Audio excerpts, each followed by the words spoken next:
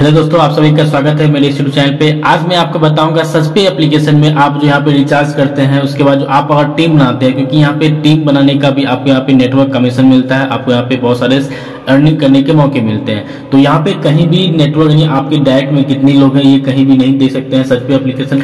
यहाँ पे आप देख सकते हैं सच पे एप्लीकेशन में सिर्फ़ आप यहाँ पे mobile recharge DTH recharge Google postpaid electricity bill LPG gas ये सभी चीज़ों को आप यहाँ पे सर्विसेज़ को यूज़ कर सकते हैं। बट आपका जो टीम बनता है अपना रेफर लिंक निकालने के लिए आपको एक और एप्लीकेशन सजपे कम्युनिटी साज कम्युनिटी ये आप देख सकते हैं साज कम्युनिटी इसी का एप्लीकेशन है सजपे का ही एप्लीकेशन है। ठीक है, ये भी आपको गूगल प्ले स्टोर पर मिल जाएगा। यहाँ पे जब आइए गूगल प्ले स्टोर में, ये सारा कुछ दोनों एप्लीकेशन जो है आपको इसी का है। एमटेक ये आप देख सकते हैं साज कम्युनिटी करके एप्लीकेशन है, इसको आपको इंस्टॉल कर लेना है। और जिस नंबर से साज पे एप्लीकेशन को आपने जिस नंबर से जिस पासवर्ड से किया था, उसी नंबर पासवर्ड से आप इसको लॉगिन कीजिएगा लॉगिन आपका हो जाएगा।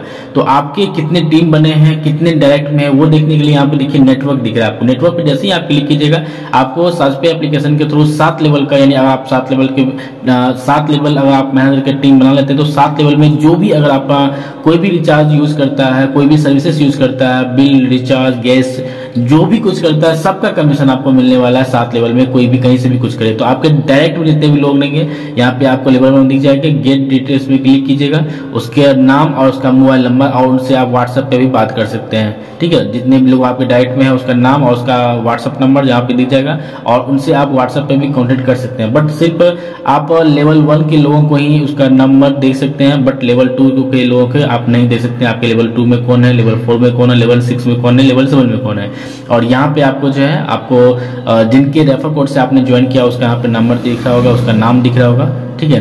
तो इस तरह से आप अपना नेटवर्क को चेक कर सकते हैं सर्च पे एप्लीकेशन में। और भी अगर आपको सर्च पे एप्लीकेशन के रिगार्डिंग कुछ नॉलेज चाहिए, कुछ इन्फॉर्मेशन चाहिए क्वेश्चन हो डाउट हो तो आप प्लीज़ कमेंट सेक्शन में ज़रूर कमेंट करें ताकि मैं आपकी हेल्प कर पाऊँ। मिलते हैं नेक्स्ट वीडियो में। Thank you so much